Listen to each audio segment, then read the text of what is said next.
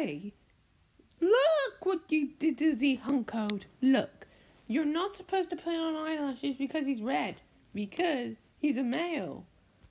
Let me fix it. Also,